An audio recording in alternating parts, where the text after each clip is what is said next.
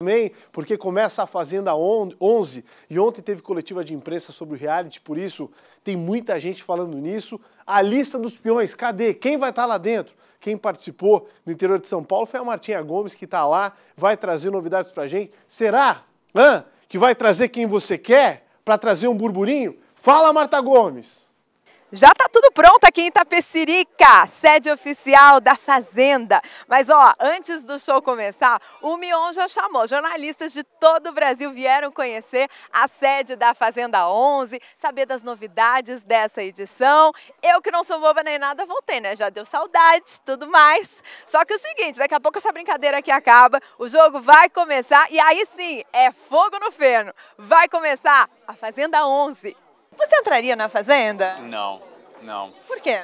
Porque eu não consigo ficar, cara, um dia longe da minha família e dos meus filhos. Imagina, vai que eu começo a ir bem no jogo e fico três meses, eu não tenho a menor condição. Se fosse um, um desafio proposto quando eu era moleque, começando lá na MTV, 20 e poucos anos de idade, que eu realmente, meu...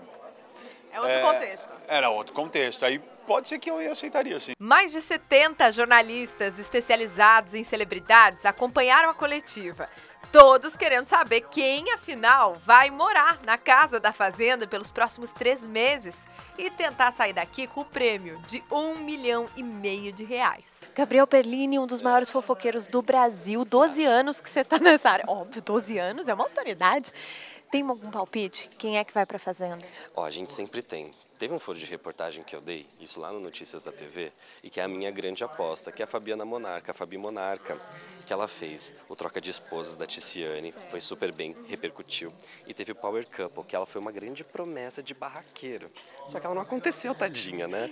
E aí, então logo... você tá apostando, né? Eu tô apostando, e logo que ela saiu, eu soube que o pessoal da Teleimad já tinha entrado em contato com ela então é... já está confinada, será? Eu acredito que sim. Qual é o teu palpite, então, para essa A Fazenda? Você que acompanha de perto uma das maiores fofoqueiras do Brasil, essa mulher aqui. Eu e o Nelson Rubens, né? Lá Isso. no okay, ok, ok. Vamos ver. Eu vou torcer para que Jojo Todinho entre nessa fazenda. É o meu sonho ver Jojo Todinho na fazenda. Eu votei nela também. Imagina essa mulher confinada, ó. Mulher de peito. É uma que mulher isso? de peito, porque eu quero ver Jojo Todinho com biquíni PP. Ela usa mesmo, tu sabe? Ela usa e ela é barraqueira, ela não leva desaforo para casa. Então tem quem entra na fazenda, quem não leva desaforo para casa. Eu também não levo, não. É o segredo mais bem guardado da fazenda. Nem quem está do lado de dentro sabe.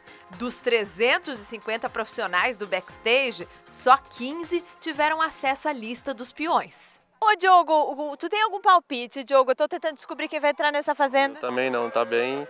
Todo mundo tá tudo escondido, né? Não, Ninguém... não, não, não, não, Sério, tu não sabes quem tu vai ter não que aguentar aqui dentro? Não sei. São 16, hein? 16. Vamos lá, né? Sabe que tem celebridade que é insuportável, né? É. Uxi. Mas a gente tem jeito para lidar com todo mundo, né? Lida até com o bicho, né, John? É, não vai lidar com os... É mais fácil lidar com o bicho que as pessoas, né? gente, agora tem cavalo, ó. Não tinha quando a gente esteve na fazenda. Olha que lindão! Uau! Eu descobri o nome de um dos participantes novos da Fazenda. Jura? Quem? Eu estava aqui semana passada, tu sabe, né? Fazendo experiência, uh -huh. fim de semana. Sim. E não tinha. E agora ele está aí. Lion, cavalo novo. Lion, Lion. Lion é incrível. Ele é lindo. Ele vai fazer sucesso é. nessa fazenda, acho que mais que a Alha. É. Não, com certeza. Ele já e, e o nome de celebridade, né? Lion. Lion. Então, é. Seja quem for para a fazenda, olha, vai precisar de ousadia e disposição para tratar dessa bicharada toda para ganhar a fazenda? Tem que ser um bom fazendeiro, um bom jogador ou tem que ser maluco mesmo? Eu não tenho essa resposta, ninguém tem essa resposta, porque são sempre raios isolados, assim, é um conjunto de coisas que acontecem para a pessoa ganhar.